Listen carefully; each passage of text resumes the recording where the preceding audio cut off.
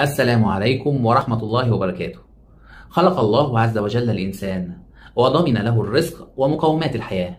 لا فرق في ذلك بين المؤمن والكافر، وهذا ما يسمى عطاء الربوبية الذي لا ينقطع بكفر، فالحمد لله على هذه النعمة.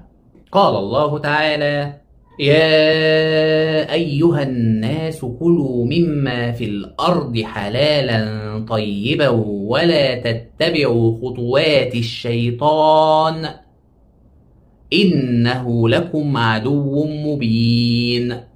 يا أيها الناس كلوا من رزق الله الحلال الذي أباحه لكم مما في الأرض وكلوا من الرزق الطيب وهو الطاهر غير النجس والنافع غير الضار. وإياكم وأن تتبعوا خطوات الشيطان في التحليل والتحريم والبدع والمعاصي. إنه لكم عدو مبين ظاهر العداوة منذ آدم وإلى قيام الساعة. كان المشركون قديما يتبعون خطوات الشيطان فكانوا يحلون الحرام ويحرمون الحلال. فكانوا يأكلون الميتة والدم ويحرمون من الأنعام ما هو حلال. فلو عقل الناس هذه الشريعة السمحة لآمنوا بالله. وبالطبع كلنا نعلم أن سورة البقرة سورة مدنية وغالبا ما تخاطب المؤمنين للتشريع.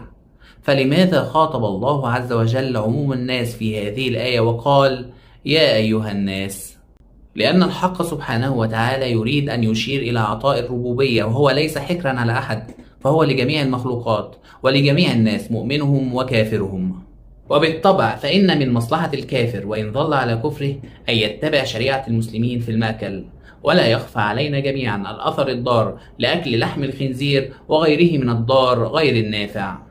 وما أجمل الشريعة الإسلامية التي تزين لنا الحلال الطيب وتنهانا عن الحرام والخبيث والقذر.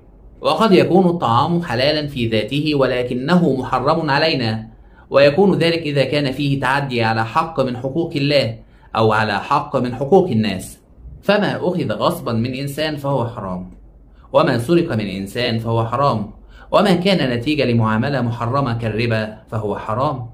ولننتبه جيدا كما أمرنا الله عز وجل بالأكل أمرنا بعدم الإسراف في الأكل والشرب. وكلوا واشربوا ولا تسرفوا.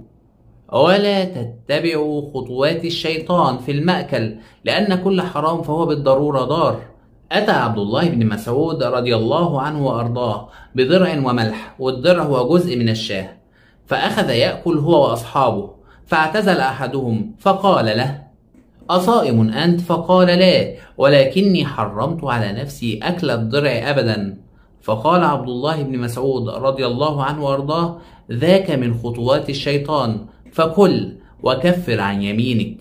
واحذر جيدا من خطوات الشيطان فهي تبدأ بخطوة يسيرة في صغائر الذنوب ثم يألفها الإنسان رويدا رويدا. فينتقل إلى ذنب أكبر ثم يصل إلى الكبائر وينتهي به الأمر إلى الكفر والمكوث في النار. إنه لكم عدو مبين ظاهر العداوة للإنسان. لا يقبل إلا أن نكون من أصحاب السعير. أعاذنا الله منها اللهم آمين. جزاكم الله خيرا.